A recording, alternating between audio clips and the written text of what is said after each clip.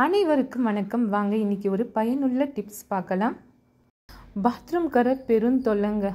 ரொம்பவே உப்பு கரை படிஞ்சு எப்படியோ வந்துட்டு உப்பு தண்ணி கரை படிஞ்சு இந்த மாதிரி ஆகிடும் இதுக்கு நீங்கள் ஒன்றுமே பண்ண தேவையில்ல ஃப்ரெண்ட்ஸ் வீட்டில் இருக்கிற பொருளை வச்சு நீங்கள் எப்படி சுத்தம் செய்யுதுன்னு இன்றைக்கி நம்ம பார்க்கலாம். வாங்க.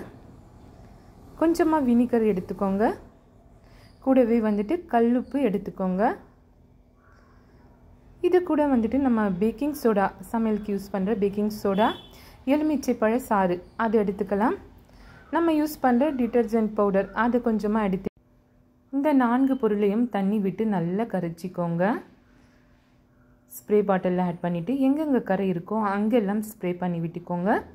இந்த ஸ்டெயின்லெஸ் ஸ்டீல் ஸ்க்ரப்பரை எடுத்து நல்லா ஸ்க்ரப் பண்ணிக்கலாம். இதால் நீங்கள் தேய்க்கும் போது இருக்கிற அழுக்கு எல்லாமே வந்துடும் ஃப்ரெண்ட்ஸ் நீங்கள் இது பாத்ரூம்க்கு மட்டும் இல்லை kitchen tiles wash basin sink எல்லா இடத்துலையும் வந்துட்டு இந்த மெத்தடை வந்துட்டு நீங்கள் ஃபாலோ பண்ணலாம். ரொம்பவே யூஸ்ஃபுல்லாக இருக்கும். ரொம்பவே கம்மியான செலவில் உங்கள் பாத்ரூம் கிச்சன் டைல்ஸ் எல்லாமே பளபளப்பாக இருக்கும் ஃப்ரெண்ட்ஸ் மறக்காமல் ட்ரை பண்ணி பாருங்கள் பிடிச்சிருந்தால் லைக் பண்ணிவிடுங்க அப்படியே சப்ஸ்கிரைப் பண்ண மறக்காதீங்க. அடுத்த ஒரு வீடியோவில் சந்திக்கலாம். நன்றி. வணக்கம்.